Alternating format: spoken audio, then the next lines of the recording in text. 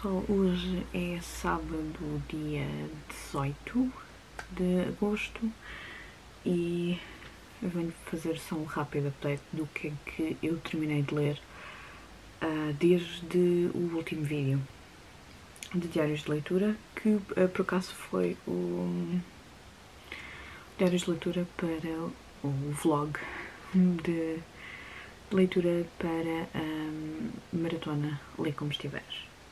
Bem, eu depois demorei mais uma semana, finalmente terminei o The Truth About the Harry Cabot Affair, mas não vou adiantar mais nada sobre ele aqui.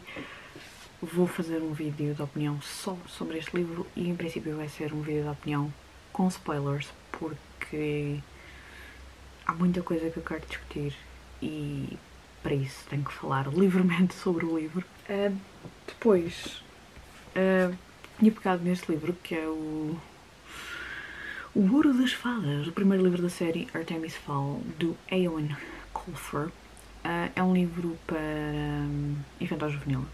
Não é para, não é para ninguém, é, é um infantil juvenil. Uh, é uma releitura. Foi um livro que eu li para o Book Bingo Leituras ao Sol e estou super contente. Aliás, isso foi um motivo. Já andava para reler esta série há muito tempo porque eu tenho o primeiro e o segundo livro, mas nunca mais encontrei o resto da série. Eu sei que existe mais uma série de livros. Um, e acho que isto vai ser ótimo para finalmente continuar a série. Eu dei-lhe. Tinha-lhe dado 5 estrelas, desta vez dei-lhe 4 estrelas e meia. Um, mas eu continuo a gostar do, imenso do livro. Obviamente que sei que não é um livro assim, não é nenhum Senhor dos Anéis, óbvio. não, nem é para, para, o mesmo, para a mesma idade, mas acho que qualquer pessoa que goste da premissa de ter uma criança de 12 anos que seja hum, mega inteligente, não é super inteligente, é para lá disso. É mais, do que, mais do que um crânio, mais do que um gênio, eh, que vem de uma família de criminosos irlandeses, porque tinha que ser, eh, aliás, com fadas só podia ser irlandeses, e hum, ele vai fazer a maior golpada de sempre, que é roubar as fadas. E consegue fazê-lo. Eu acho que tudo aquilo que o autor conseguiu desenvolver neste livro, acho que está bem conseguido. Obviamente que é muito mais fácil de entrar no livro se a pessoa tiver conhecimentos sobre aquilo que é normal nas histórias sobre fadas. Um, achei muito interessante, não me lembro, que é uma coisa que eu não me lembrava. Este livro tem muitas notas de, do tradutor uh, que ajudam a um, perceber algumas coisas que eram piadas de, que é de, do género de um, coisas em inglês que tinham duplo sentido ou qualquer coisa assim do género, ou para esclarecer detalhes que são muito ligados à cultura um, inglesa ou irlandesa. E eu achei muito interessante o facto de, destas notas e acho que estão completamente adequadas. Um, quando eu ler depois o terceiro livro, provavelmente só será em inglês, porque nem sei onde é que encontro isto em português. Entretanto, também ontem terminei finalmente o, Deus, o Deus das Moscas e é outro livro que eu acho que vou ter que fazer também uma opinião. Não sei muito bem como, porque é um livro que eu acho que é difícil de fazer uma uh, opinião. Uh, já percebi porque é que é um livro tão importante ou, ou com alguma importância para, um, para o Stephen King. Uh, existe as versões em inglês, algumas têm uh, um prefácio escrito pelo autor Uh, e é muito, muito interessante uh, ver como é que isto está ligado a algumas histórias do, do, do, Stephen King. Há histórias que ele tem, como por exemplo o The Body, uh, que foi adaptado para cinema com o, com o nome Stand By Me. Um, lá está, é sempre um grupo de miúdos, violência, uh, como é que eles resolvem os medos deles e isso está muito presente na, na, na escrita do Stephen King que eu uh, gosto muito um, e é interessante ver isto como algo que foi uh, uma inspiração para ele. É engraçado que comparando, eu tinha lido o. Como é que chama aquele livro? Coração das Trevas quem é que é o Coração das Trevas? momento que me dava uma branca, do Joseph Conrad, um, porque era mencionado no prefácio deste livro e, um, de certa maneira, houve algumas coisas que poderiam ser inspiradas nesse, nesse livro. Uh, consigo ver a ligação, acho que a origem do mal, se é que se pode chamar assim, acaba por estar melhor desenvolvida neste livro do que no outro, mas também lá está, são livros que são escritos em épocas diferentes. Este livro foi escrito em meados do século XX por uma pessoa que viveu a Segunda Guerra Mundial e que estava desiludido com a humanidade e quis transpor isso para uma história. Um, e acho que, está muito bem sucedido. Um, estou agora com muita curiosidade para ver a primeira adaptação cinematográfica, porque eu acho que existe uma mais recente, um, mas eu estou mais interessada em ver a mais antiga. Um, mas ao mesmo tempo estou com algum receio porque não é, não é pela violência, mas também não sei qual é que vai ser a minha reação ao, ao filme. Portanto, estou interessada, não quer dizer que vá ver agora, porque de momento não ando a ver filmes, nem séries nem nada. Portanto, gostei tudo com essas coisas. A única coisa que vejo é YouTube e leio livros. Portanto, não há de ser para, já, para amanhã que vai ver o filme, mas é um filme que está, está aqui para um dia mais tarde ver. O que é que, uh, ou que livros é que me vou dedicar agora a seguir? O Pyramid do Terry Pratchett e o Pet Cemetery do Stephen King. Uh, vamos continuar com o horror porque depois deste horror temos que ir para mais algum, não é?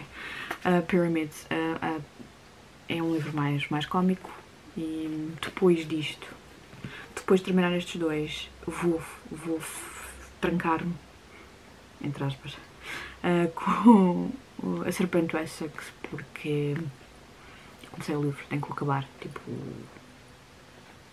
a SAP. Um, e só depois é que me vou dedicar à Donna Tart. E no entanto tenho mais uma catrafada de livros também por ler. Um, ou já começados, aliás, não é, não é por ler, é começados a ler. Enfim, um, por agora é tudo e até o próximo update. Olá pessoal, hoje é dia 31 de agosto uh, e como podem estar a ver por este vídeo, eu não fiz uh, diários de leitura, muitos diários de leitura, agora na segunda quinzena de agosto, exatamente porque não andei a ler tanto como costumo ler. Uh, e quando eu não leio tanto, ou ao ritmo que eu normalmente leio quando estou a ler, muito, um, parece que não faz sentido estar a fazer updates só a dizer olha, agora estou a ler este livro, e agora estou a ler aquele. Uh, e por isso mesmo acabei por não fazer tantos updates. Eu li, comecei e terminei alguns livros uh, pequenos, em parte eles não, eram livros que não estavam planeados ler, um, mas vocês vão ver esses livros no, no meu wrap-up uh, que irá ser publicado para a semana. Portanto, eu vou-vos mostrar os três livros, três livros que eu estou a ler, que eu vou fazer de quase tudo para os terminar de ler durante este fim de semana. Uh, e se realmente os conseguir terminar durante este fim de semana, vou, vou contá-los como se tivesse lido em agosto e não como os primeiros livros de setembro. Vou fazer batota, mas é que eu já ando a arrastar estes livros há algum tempo.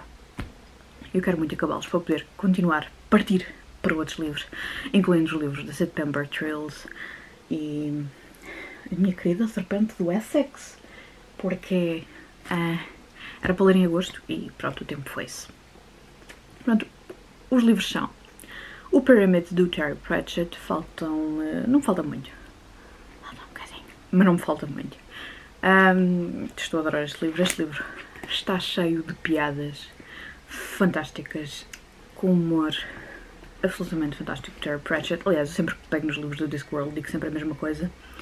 Mas onde é que vocês encontram um livro em que têm um camelo animal que se chama You Bastard e que um, ou um livro em que os animais mais inteligentes são os camelos, uh, mas que não o demonstram, porque eles são tão inteligentes que perceberam que se demonstrassem isso aos humanos, os humanos iam estudá-los. Além disso, são tão inteligentes, tão inteligentes, tão inteligentes que percebem quântica.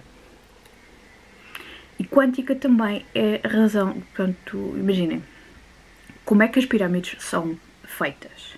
Antigamente eram pessoas que uh, arrastavam as pedras, uh, que demorava séculos uh, a fazer uma pirâmide, e aqui séculos, obviamente que estou a exagerar.